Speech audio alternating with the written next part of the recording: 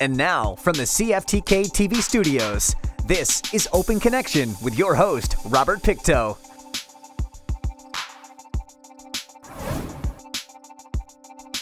Welcome to Open Connection. I'm your host, Robert Pictou. The impact of treaty making in Canada has been wide ranging and long standing. The treaties the Crown has signed with Indigenous peoples since the 18th century have permitted the evolution of Canada as we know it. In fact, much of Canada's land mass is covered by treaties. On today's Open Connection, we open our archives to bring you this story from 2000. We have a treaty. The Nisga'a people have been waiting more than 100 years to hear those words. In fact, self-government was always the goal, starting when Nisga'a chiefs traveled to Victoria in 1887 to demand the negotiation of treaties. The white settlers and their government had taken over the land and made the Nisga'a subject to their law and their rules. In 1927, uh, the government uh, uh, made it illegal for, for any Indians to talk about the resolution of the land question here in British Columbia. It was illegal. The Parliament of Canada later repealed the legislation allowing natives to pursue land claims. But the Nisga'a made little progress until they went to court in 1968. The Nisga'a Tribal Council and its president, Frank Calder, took the case to the Supreme Court of Canada. British justice is on trial. But the Calder case turned out to be only a partial victory in 1973. The Supreme Court unanimously recognized that Aboriginal title had existed at least up to the time of European contact. But the seven judges were split on whether this title had been extinguished. In effect, the highest court in Canada had thrown the ball back to the politicians, and the politicians decided to run with it. The federal government recognizes the importance of these claims and the importance of bringing all the parties involved to the table. The federal government's about face was largely political. The land claim question was becoming a major political problem right across Canada. He was head of the minority government at that point in time. He was afraid he was going to be brought down on this issue alone. So he had to initiate a land claim comprehensive policy, which began all the negotiations throughout Canada. The provincial government had long insisted Aboriginal title had been extinguished, but regardless of that, in 1990 the provincial government formally joined Canada and the Nisga'a Tribal Council at the negotiating table. Now that uh, provincial government is in negotiations with us, we're, we're looking forward to having formal discussions in those areas. And yes, we do have a concern that while we're negotiating um, what what we're hoping to include, say, in the final packets may be all gone by the time we're finished negotiating. While the Nisga'a waited for full-fledged treaty negotiations, they had gained some degree of control over two issues. Through agreements with the federal and provincial governments, a Nisga'a-run school board and health board were established. The relationship between the Nisga'a and the province also seemed to be improving when the Nisga'a Memorial Lava Bed Park was officially opened in April of 1992. The project was a joint venture between the natives and Victoria. We have some provincial funding at the moment, and uh, we are looking toward corporations uh, to provide us with some assistance in, in funding some areas.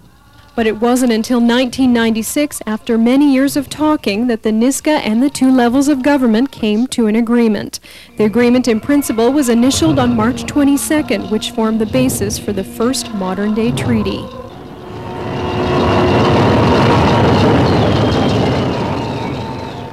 The details of the treaty were finally worked out in an agreement in Terrace where emotions were running high. Open Connection will be right back after these messages. And now, from the CFTK TV studios, this is Open Connection with your host, Robert. Thank you for staying with us. The Nisga'a Final Agreement is the first treaty in British Columbia to provide constitutional certainty in respect of the Aboriginal Peoples Section 35 right to self-government. It recognizes Nisga'a lands and opens the door for joint economic initiatives in the development of Nisga'a Nation's natural resources. Let us return to the archives to discover two lands outlined in the treaty. Two kinds of lands are included in the treaty. The first, a contiguous parcel referred to as Nisga'a lands. Runs from uh, Dragon Lake to my to the north on to the north of New Aiyansh, all the way down to the community of uh, Kincolith. And uh, all of the forest resources within that area will be owned by the Nisga'a people, including any mineral rights that uh, will be found on the land. Nisga'a lands do not include existing private property or agricultural leases, woodlot licenses, or the Nisga'a Highway. Existing rights-of-way also continue. In addition, existing trap lines, guide outfitter licenses, and angling guide tenures remain under provincial jurisdiction. The second kind of lands in the treaty are described as Nisga'a fee simple lands outside the Nisga'a lands. They consist of 18 Indian reserves and 15 parcels of Crown land. Some of them are in the Portland Canal Observatory Inlet area. Some of them are north around the Meziadin, the Ginsbuch area. And uh, certainly uh, we have chosen these small pieces of land uh, for economic reasons. We believe that we can uh, create some employment for our people. It's up to the, uh, the, tribal council and the villages that will own the Nisga'a lands as to whether or not they will uh, sell them or what exactly they will do with them, but it's their decision. It's no longer a decision of uh, the government of Canada. The treaty also gives the Nisga'a a commercial recreation tender, and it designates a Nass wildlife area where the Nisga'a have hunting rights. The Nisga'a Memorial Lava Bed Park remains a Class A provincial park, and a new Bear Glacier Provincial Park will be created.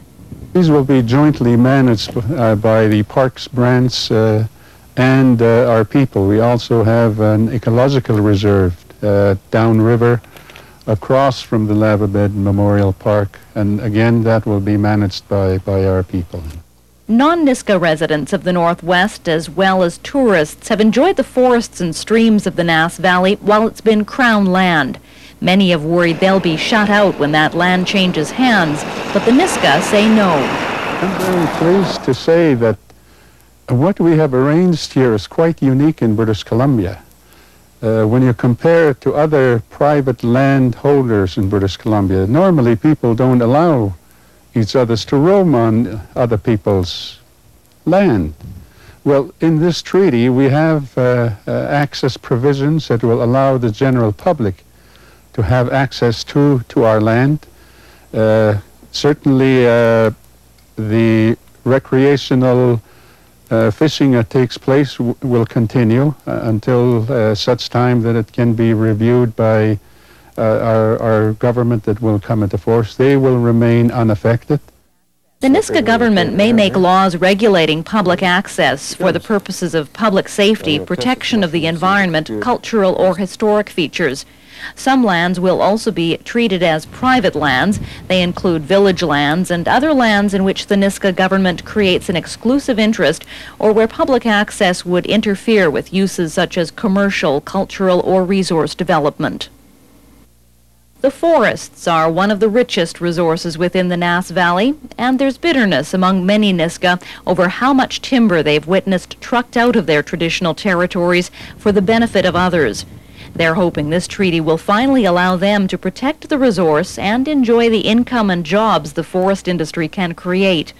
The Nisga'a will own all the forest resources on Nisga'a lands, but for the first five years, existing licenses will remain in effect. In addition, the province has agreed in principle to the Nisga'a purchasing forest tenure with an allowable annual cut of up to 150,000 cubic meters.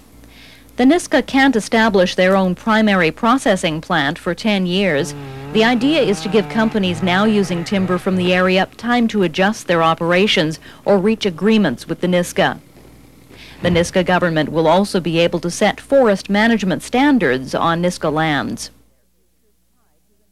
Many Nisga'a still see their futures tied to the Nass River salmon, so fishing provisions make up an important part of the treaty. The Nisga'a will receive an annual allocation of Canadian Nass salmon. It'll be a percentage based on the total allowable catch set by the federal government and average approximately 26 percent. That amount is made up of an allocation under the treaty plus an outside harvest agreement for pinks and sockeye that doesn't have the same treaty protection. When you compare the percentage that we get, uh, our view is that it doesn't pose a threat to the current uh, commercial sector, neither does it pose a threat to the recreational area. Uh, all we have indicated is uh, uh, we don't want the whole pie. We want a piece of the pie. Since time immemorial, we've depended on the salmon.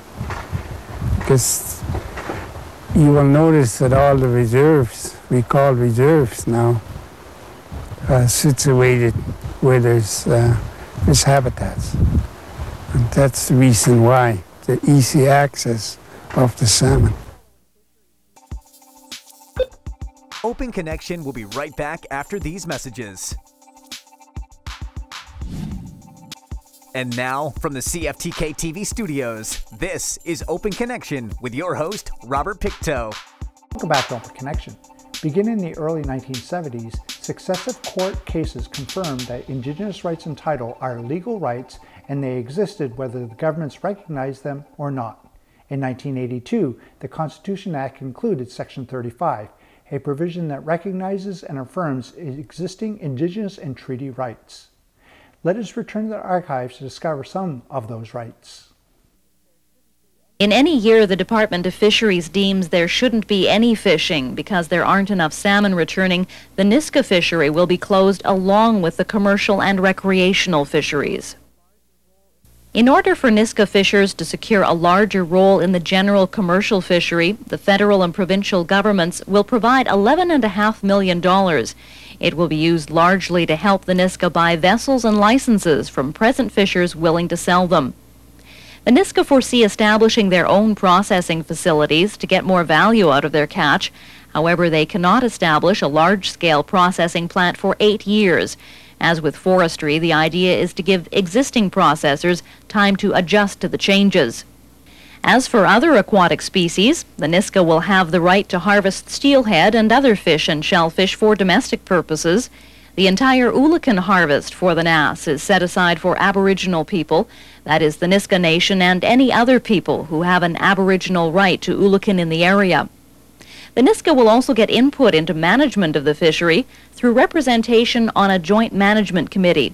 It will make recommendations to the minister. The Nisga'a will also draft an annual plan for their own harvest to be approved by the minister. Uh, there are provisions uh, within the treaty for uh, tax of uh, the Nisga'a citizens. It's uh, brought in over a, a, period of time, but ultimately they will uh, be in the same position as any other person who doesn't live on a reserve. The Nisga'a will pay sales tax after eight years and income taxes after 12 years. To generate its own revenue, the Nisga'a government may eventually impose direct taxes on Nisga'a citizens on Nisga'a lands, and it may reach agreement with the province on imposing the same property taxes on non-Nisga'a occupiers of Nisga'a lands. The cash settlement in the Nisga'a Treaty is $190 million, to be paid over 15 years. In addition, the federal and provincial governments will provide ongoing fiscal transfers.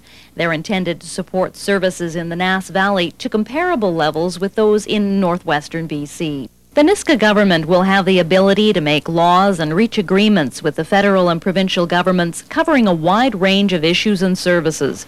Such things as Nisga'a citizenship, language and culture, public order, employment, child custody, social and health services, and education. However, many federal and provincial laws also apply to Nisga'a citizens and lands. So how final will this treaty be if it's ratified? Negotiators have taken a new approach to that question. The treaty says it exhaustively sets out Nisga'a rights and any other rights that may have been left out are released by the Nisga'a. However, the deal does make provisions for some amendments. If we need changes uh, certainly it, it must be brought before our people via uh, a vote on, on whatever change may, may be required. Uh, certainly uh, the government of British Columbia and the government of Canada must also agree. There's a lot of hope for the future here. Many Nisga'a say this treaty holds the promise of economic opportunity, a chance for them to create badly needed jobs for their people. It might be a banner year for us. Uh, we also send a, a, what we call a super B of supplies, building supplies to Greenville alone. Uh, we didn't even have to lift a finger for that, so good for us. um, we also supply Gitwin with renovation material. We haven't as yet uh, supplied them with uh, building material, new construction material. There are currently 11 houses under construction in Uayanch, a much busier year than last. I tell you, this thing today has just opened up this valley. And so many people are coming here to see the beautiful place it is. We're going to get tourists. Our logging is depleted. We've got no logging to, or, as economy here. And I think tourism is going to be the answer to our, the success of this valley. And tourism is already picking up. The Lava Bed Park was created back in 1992. And while it's drawing many visitors to the area, attracting and sustaining development is something the Nisga'a haven't had a lot of experience with yet.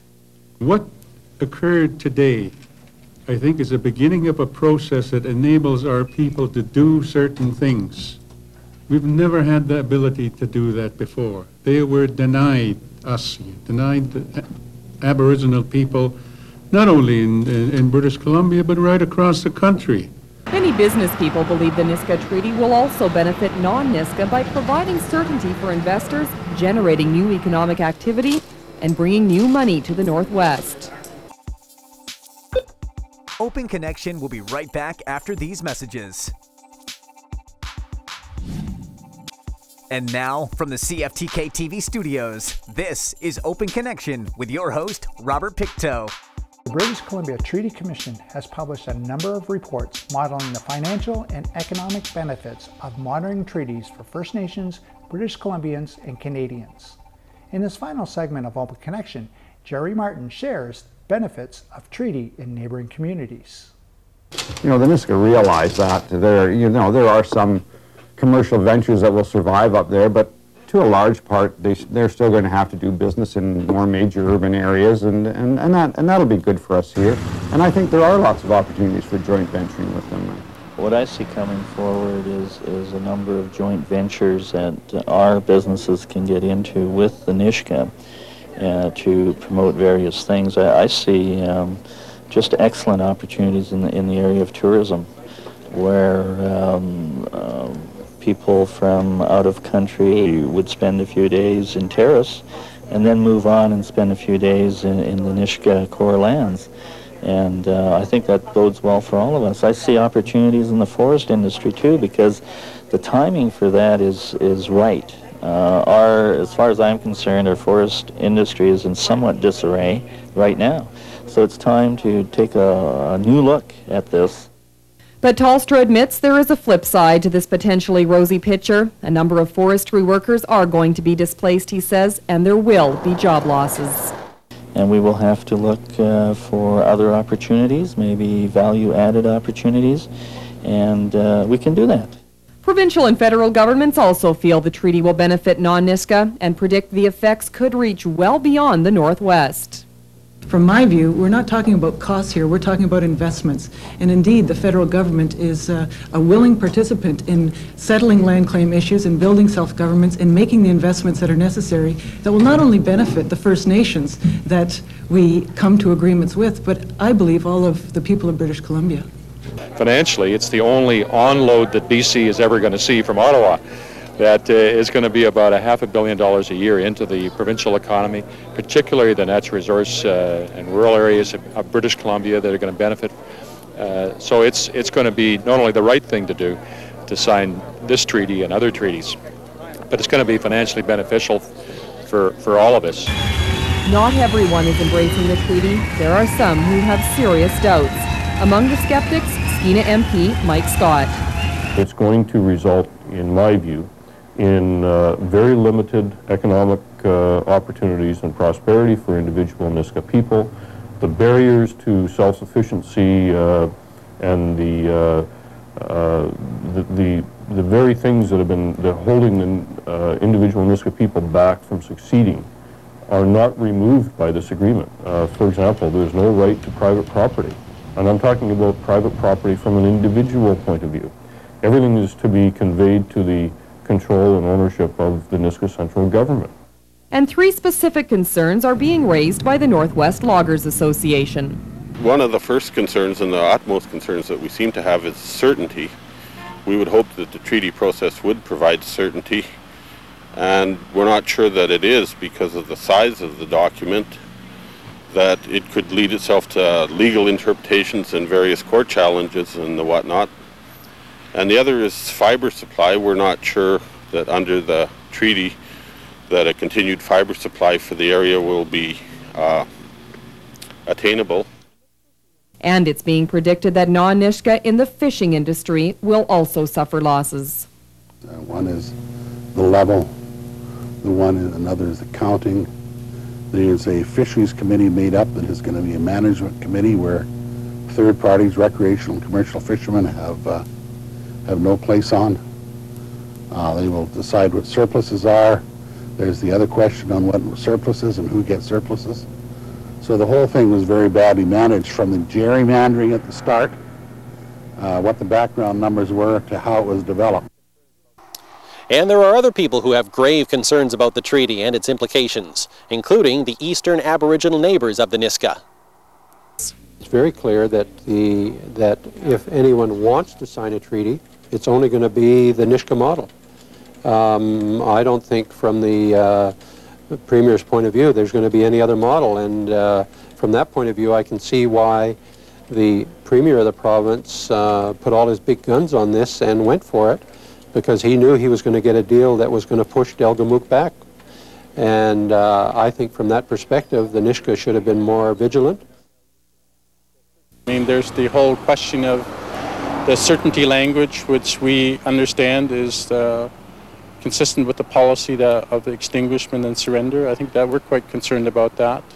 The other matter is the the 92 lands, all the 9124 lands will now be abandoned. Uh, that's a big concern to us.